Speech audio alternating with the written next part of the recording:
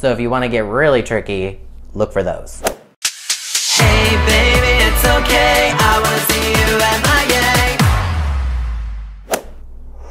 Konnichiwa, What's up everybody, I'm John John aka Jonathan Miller. As somebody who speaks different languages and listens to music in different languages, oftentimes I see aspiring singer-songwriters trying to create the perfect English cover of their favorite K-pop song or J-pop or whatever. And time and time again, one of the biggest mistakes I see is the singer forgets to recontextualize the song to that singer's native tongue. More often than not, they just try to make a direct translation of the song, which doesn't always quite work. So I thought I would make a video about how to recontextualize a song from its original language to your language. For example, let's take a look at one of my favorite K-pop songs, The Boys by Girls' Generation. Girls' Generation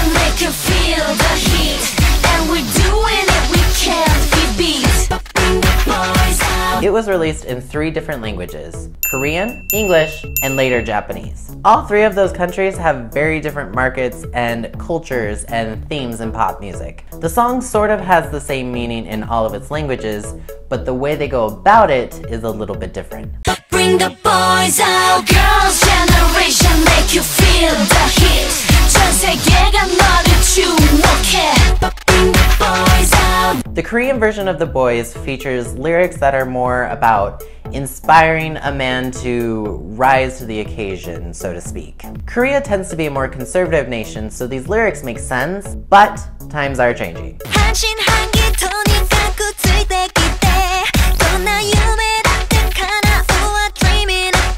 The Japanese version, while still being in the realm of inspiring a boy, is different because it's a bit more flirtier than its Korean counterpart, and in my opinion, it more closely resembles the English version. Girls, bring the boys out! I wanna dance right now. We can show them how the girls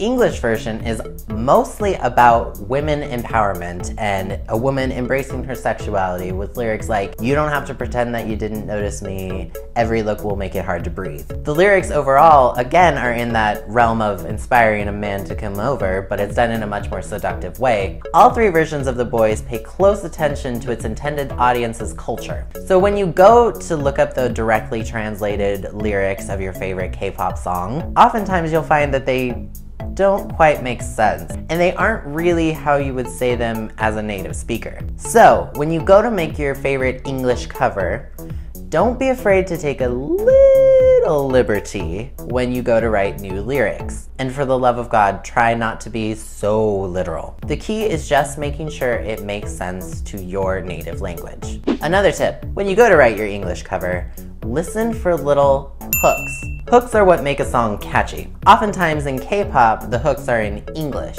And in this case, we're looking for lyrical hooks. For example, in The Boys, you have lyrics like, bring the boys out.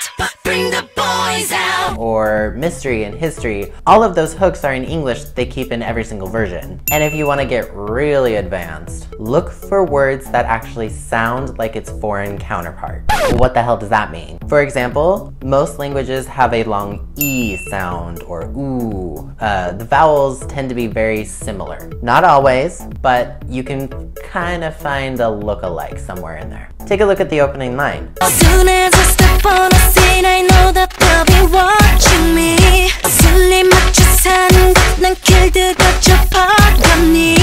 Very similar in sound. The speech pattern actually sounds similar, so it gives your brain something to hold on to. In a way, it kind of strikes a familiarity between the languages, even when it doesn't understand one or the other. So if you want to get really tricky, look for those. Alright you guys, that's gonna be it this week. Make sure you like this video if you enjoyed it and subscribe if you're new. I put out new videos every single Wednesday. If you want to check out my own recontextualized song, check out my song Marionette, which is available in both English and Japanese. And for fun, let me know in the comments below what's your favorite K-pop song and do they have an English version? And that's gonna be it this week. I will see you next time.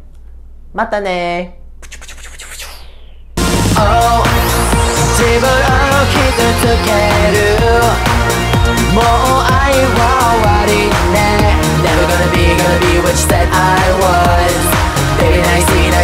to you